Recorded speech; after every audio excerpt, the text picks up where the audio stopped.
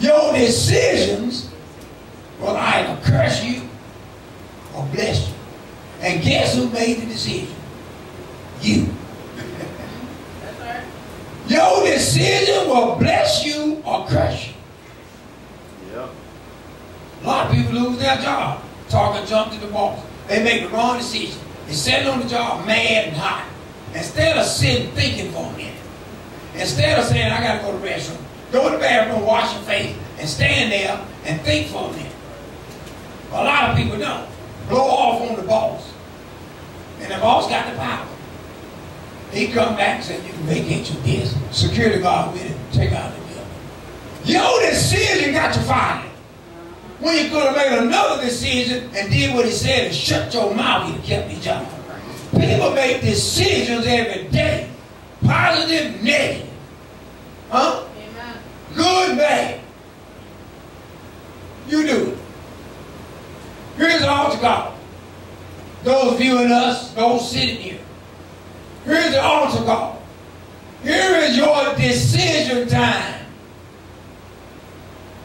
You won't find in the Bible.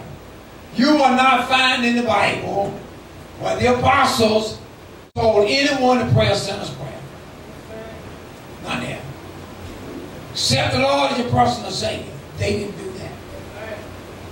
Deathbed confession. They didn't do that.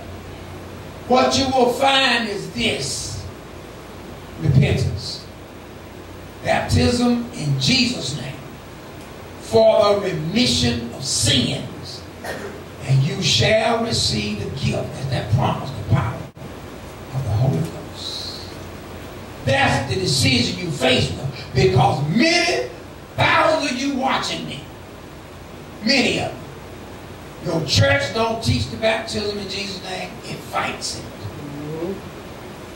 So you are faced with a decision. Your tradition that you've been doing for 200 years, or the decision to obey the Bible and choose life. That's the decision you face with. Because you know, mama, daddy, reverend, and all of them coming against you. You already know it. But guess what? I'd rather choose life than live and live than to choose disobedience and go to hell with them. It's not worth it. Come on, look at somebody and say, hell, it's not worth it. Hell is not worth it. Obedience is better.